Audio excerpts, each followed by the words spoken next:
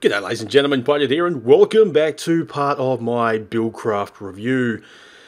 In the last episodes, obviously, if you can recall, just been a while since I've the last done one, and that is I've pretty much covered all the pipes, uh, like the pump, the mining well, and of course the daddy of all mining, the quarry. So in this one, what I'm going to be covering is, as you can see right in front of me, is the refinery. Yes. In a basic nutshell, what the refinery does, you can get a fuel source like this oil and it gets pumped through into the refinery and then gets pumped out of the refinery as a fuel. So yeah, that's basically what the refinery does. It converts oil into fuel. And of course I do have another setup over there. You'll probably notice the green in there.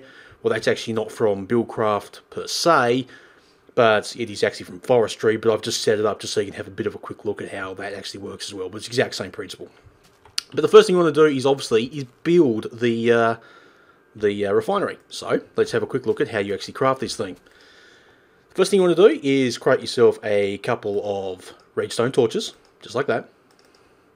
And next you want to do is craft yourself three, if I can get it right, uh, tanks. And all you do with them is you simply get a bunch of the glass blocks and put them around like this, in like you're making a uh, chest, which I'll keep mucking that up, so I'm doing really good here. There we go, three of each, because you need three tanks.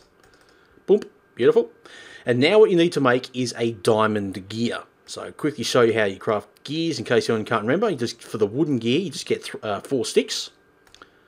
And then for the for the uh, stone gear, you get four cobblestone with the with the wooden gear in the middle, and it just progresses up. So you put the the early version in the middle, and then you just add whatever goes around it. So if the iron gear, iron around the middle of, and the uh, stone gear in the middle, iron in the middle, gold around the side gives you the gold, and of course, diamond around the sides of a gold gear gives you the diamond gear. Cool. So now we've got all the parts we need. These are the components needed. All you simply do is put the gold gear in the bottom just there, all the tanks around, and redstone torches, and there is your refinery. Very cool. Alright, I just wanted to show you how you craft it because I've already got a place, so I don't need to worry about it. So the first thing you want to try and do is once you uh, get this basic setup done, again, you'd pump this, the you can get the oil in there by simply uh, finding something like that, or an even bigger one there, whatever you want to use. So you can pump it in, or again, you can use buckets of oil, and you can just fill it up, the tanks up with buckets of oil, depending on how you want to do it. But uh, yeah, there is when you first start up, you'd want to place uh, at least an engine behind. In this case, you'd probably just start with a just a normal combustion because that is the most powerful engine. And then you can just uh, place in some oil. That'll give you some basic fuel to start with. And now we can start it up. So that's just now that is giving power into the refinery.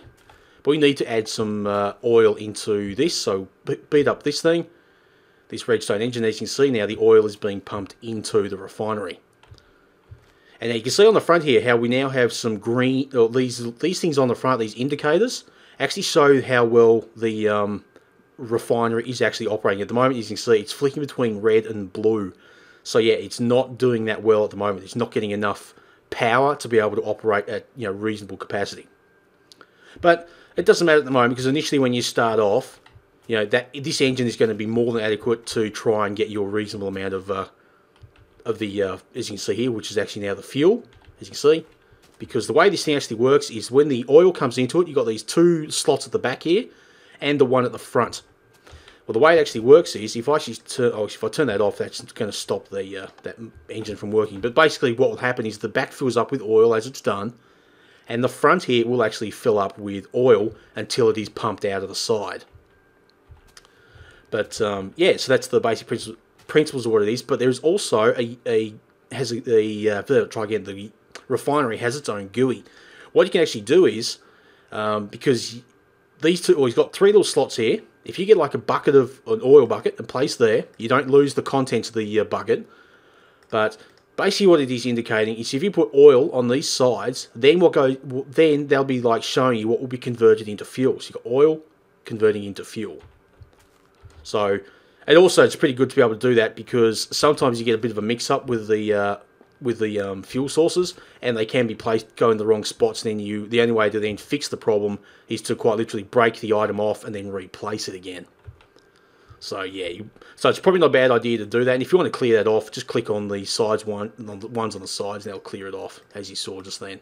Just click, click, and it clears that inventory, all the GUI.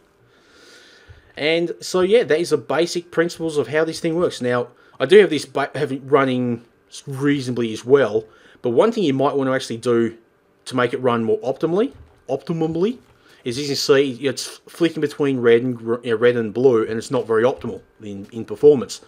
What you probably want to do is you want to break that off, and as you can see, I have three combustion engines, which have got a fuel source in them and water, so they don't blow up, and they connect. They are connected to conductive pipes. Well, if I actually connect some conductive pipes, this, as you can see, goes in the back of it, and now if I power that up, look at this, got the uh, energy going through it, and look at this, now, these indicators on the refinery are green. They're a nice solid green, and you can see we're getting a nice constant flow of fuel coming out of the system, as well as the oil in going into it as well. So I can turn it off for now because these pipes here you can see are reasonably full, and a fair amount has come out of there.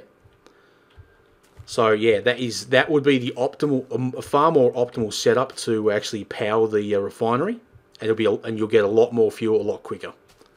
So yeah, ladies and gentlemen, that is a basic rundown of how the refinery is crafted and what it will do.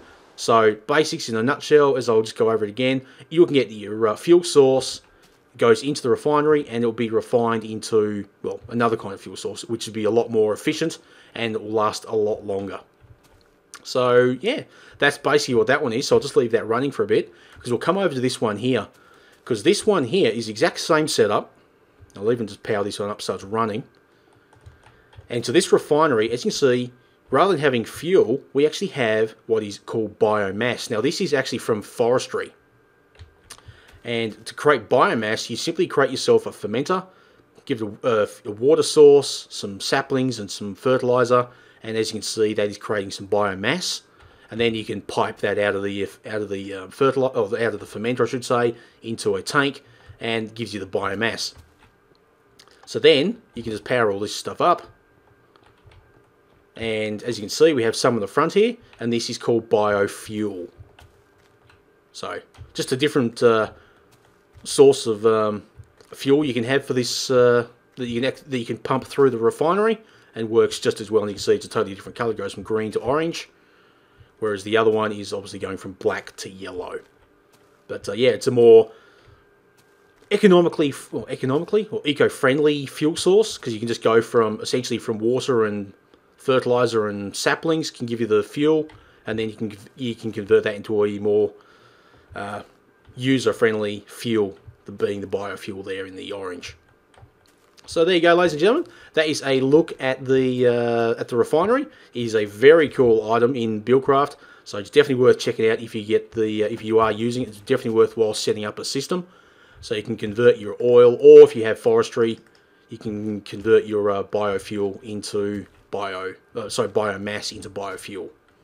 But uh, yeah, anyway, ladies and gentlemen, that is, as I said, a rundown. Uh, I hope you enjoyed the video. Don't forget to like, comment, subscribe, all that cool stuff as well. And until next time, keep cool, keep safe, and I'll catch you around. Goodbye.